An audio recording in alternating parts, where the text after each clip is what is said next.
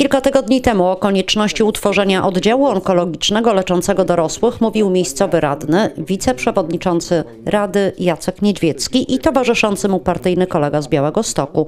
Było to zaskakujące, bowiem onkologia w Suwalskim Szpitalu już istnieje i to od lat. Tymczasem zagadka się wyjaśniła. Do redakcji telewizji Suwałki wpłynęło stanowisko Rady Miejskiej Suwałk, w którym miejscowi samorządowcy nieco umożliwili rozwikłanie medycznej intencji wypowiedzi swojego wiceprzewodniczącego. W Suwałkach mamy oddział e, onkologiczny, mamy poradnię onkologiczną. Do kompletu, jeśli tak można byłoby określić, czyli swoistego centrum brakuje w istocie owego zakładu. Gdyby Rada Miejska dowiedziała się o tym wcześniej, pewnie wcześniej staralibyśmy się podjąć to działanie.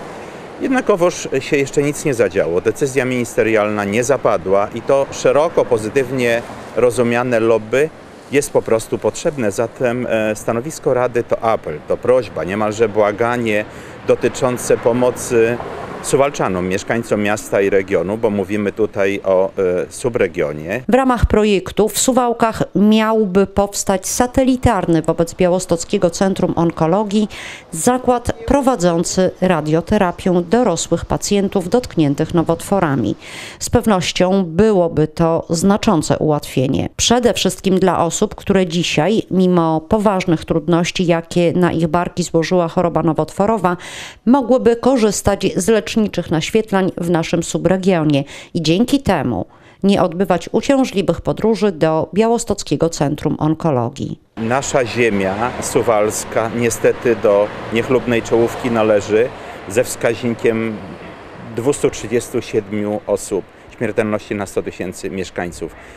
Wierzymy w pojawienie się zielonego światełka i otrzymania, i otrzymania owych środków na utworzenie zakładu radioterapii. Bardzo wielki ukłon w stronę e, Suwalskiego Szpitala Wojewódzkiego. Pan dyrektor Adam Szałanda poczynił bardzo wiele starań. Teraz się o tym dowiadujemy w postaci już kwalifikowania mm, kadr i odpowiedniego zespołu fachowców, ale także również e, gromadzenia środków i tworzenia bazy na potrzeby tej jednostki. Brakuje przysłowiowej, jak e, mówi dyrekcja Białostockiego Centrum Onkologii, przysłowiowej kropki nad i, by, ten, by ta placówka satelitarna białostocka, bo nie mówimy tutaj o utworzeniu nowego, nowej instytucji, nie mówimy tutaj o budowie szpitala, mówimy o zakładzie, który funkcjonowałby w strukturze szpitala z podległością pod Białostockie Centrum Onkologii.